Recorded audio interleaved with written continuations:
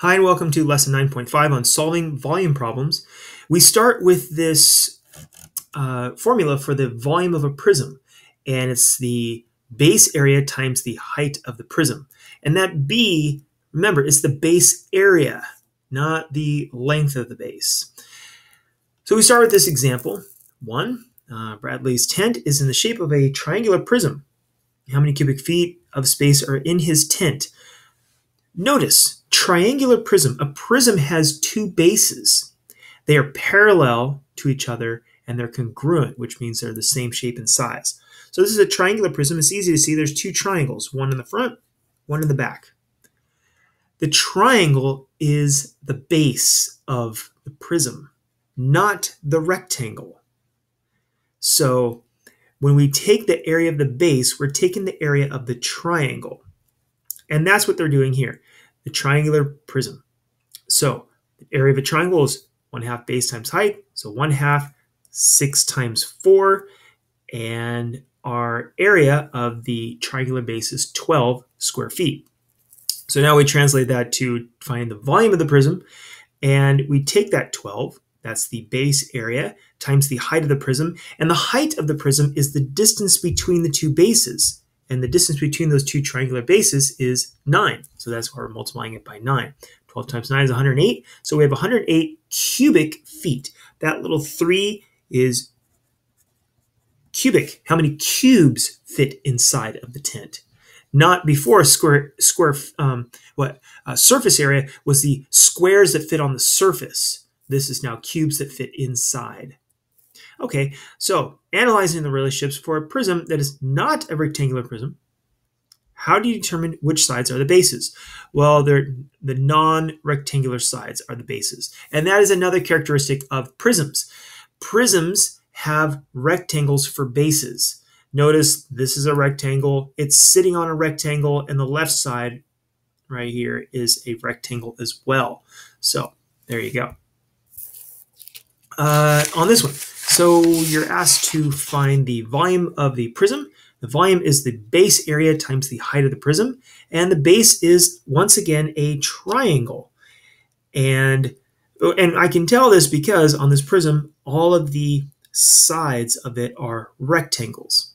And we have two bases. They're both triangles. They're parallel to each other, and they're congruent to each other. So the area of this triangle is uh, base times height, 24 times 7 but you have to take half of it, which is the same thing as dividing by 2. I saw that 24 divided by 2 is 12, so I just did that little part. 24 divided by 12, uh, 24 divided by 2 is 12. And then I still have the 7 here. So 7 times 12 times the height of the prism is that distance between the bases, 22. And uh, you multiply all three and you get 1,848 cubic meters. All right. On to the next part, a trapezoidal prism. Okay, prisms are named for the polygons that form their bases. In this lesson, you will focus on prisms whose bases are either triangles or quadrilaterals other than squares and rectangles. So this base uh, is a trapezoid. And the trapezoid has two parallel bases. It has one here and one here. One is 4 from here, and the other one's 6. And the height of this trapezoid is the distance between the bases, which is 4. This 9 is the height of the prism, which is the distance between the bases. Okay, so find the area of, uh, and we're going to use this, we're still using volume is base area times the height. So first we have to find the base area, which is the base, the area of that trapezoid. And this is the formula for the area of a trapezoid. Uh, the two bases are of the trapezoid are 6 and 4. So we have 6 plus 4. And the height of the trapezoid I mentioned earlier is 4. So we enter those values in there and we evaluate using the order of operations. 6 plus 4 is 10. And 10 times 4 is, well, you could multiply half times 10, which is 5. And 5 times 4 is 20. Okay, that's the area of the base, but we have to multiply by the height of the prism. And the height of the prism is 9. So we take that 20 and we multiply it by 9, and 20 times 9 is 180. So it's 180 cubic feet for the tent, for the volume of the tent. So a follow-up question here is how could you double the volume of the tent by doubling just one of its dimensions? Well, if you double the height of the base uh, of the prism, double the height of the base of the prism. So if we double the height of the base of the prism, so if we double this number, that would double the volume. And also, we or we could uh, adjust the height of the prism. We can double this height right here. We double either of those, you would double the volume.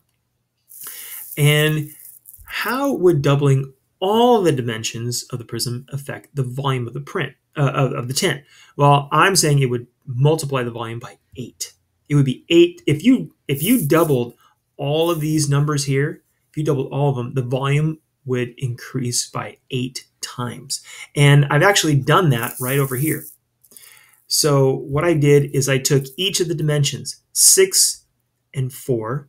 This is for the volume, uh, I'm sorry, the, the area of the trapezoid right here. This part right here, I doubled from right here. And actually the four I doubled as well. So the four I doubled here. So this part is all double the size of this. And then I multiply that by double the height of the prism. So it's 2 times 9. So I doubled that 9 right there. And when I do this, I uh, what I did is 2 times 6 is 12, 2 times 4 is 8, 2 times 4 is 8, and 2 times 9 is 18. And I had to add these two together. So that's 20. And then I took half of 20, which is 10. And then I multiplied the other two numbers here. 10 times 8 times 18 is 1,440.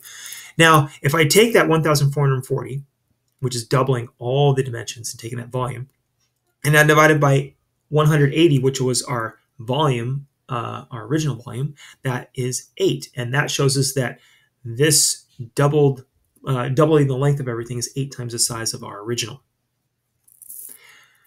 Okay. Now, I have this here, uh, this your turn question. Take the volume of this. Well, I have, I guess I'll zoom in again. I have, um, the volume is th this part right here, doing all this. That's the trapezoid. So this is the area of the trapezoid. Uh, so one half, one base plus the other base, one base plus the other base, which is 12, uh, times the height of the trapezoid, which is 10. Okay, that gives me the area of the trapezoid. But uh, I, I decided to go 8 plus 12 is 20. Half of 20 is 10. I wrote down that 10. And this 22 is the height of the prism. So the height of the prism following our formula right over here. Base area, trapezoid times the height of the prism. And we have, uh, well, I really just multiplied 10 times 10 times 22, which is 2200. And that's 2200 cubic centimeters. And that's what you got to know for all of our stuff so far. And we have trapezoid. Now we have volume of a composite solid. Now, if you remember, a composite figure is made up of several other figures. Uh, we have uh, looks like a lot of stuff here. You can use a formula for volume of a prism to find the volume of a composite figure made up of prisms. So Ali has two aquariums connected by a small square prism. Okay, two, two of them, and there's the connection. Find the volume of the double aquarium. So we're going to go with uh, the volume of each of the larger ones looks like they're the same size. So uh, the volume of the base area, that's 3 times 4. So this is 3, so that means this is 3, and 3 times 4 is 12. Times the height, which is 3, right there, and 12 times 3 is 36. So that is the volume of one of the aquariums. Okay, and the volume of the connecting prism, this little part right here, is uh, area of the base. So it looks like the area of the base here would be 1 times 1, uh, which is 1. and times the height of that prism. So that distance between the bases is 2. And 2, 1 times 2 is 2. So we have 36, but we have to add the 36 two times because there's two of those uh, aquariums and one connector. Add these all together and you get 74 cubic feet. So that's the volume of the aquarium. And now what if? Find the volume of one of the large aquariums on either end using another pair of opposite sides and, and the bases. Do you still get the same volume? And I say yes. You could still, so what they're saying is we found the area of the base three times four and then multiplied by three to get the volume of one of those. But what if what if I said the base was actually this right here? Well, on a rectangular prism, you can uh, uh you can choose a different base on this and still get the same answer. On this, I would take the volume, uh, the area of this base, which is 3 times 3, and that's 9. And then I have to multiply it by it now. Now the height of the prism is 4. So 3 times 3 is 9. 9 times 4 is 36. And 36 is still the volume of that uh, prism right there. So I say, yes, to find the volume V, you still multiply by the same dimensions, 3, 3, and 4. Okay, our last problem here, find the figure, uh, uh, the figure is composed of a rectangular prism and a triangular prism. Find the volume of the figure. Okay, here's our figure.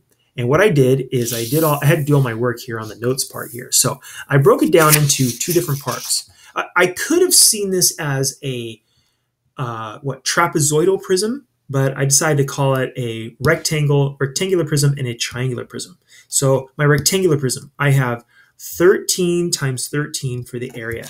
So this is 13 and this is 13. And I'm going to multiply those two together to get the area of the square. And that's what I did right here. 13 times 13. I multiply it by 30 because that's the height of the prism. The height of the prism is this. That's the distance between the two bases.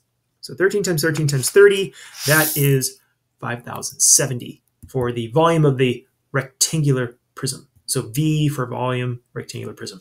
And now for the volume of the triangular prism, I, I used uh, the area of the base. It's going to be base times height. So 9 times 13. 9 times 13, because that's 13. 9 times 13 divided by 2 is the area of the triangle, and that's what I have here. 9 times 13 divided by 2. And then I multiply by 30 again because that's the height of the prism. The height of the prism is the distance between the bases. 9 times 13 divided by 2 is 58.5.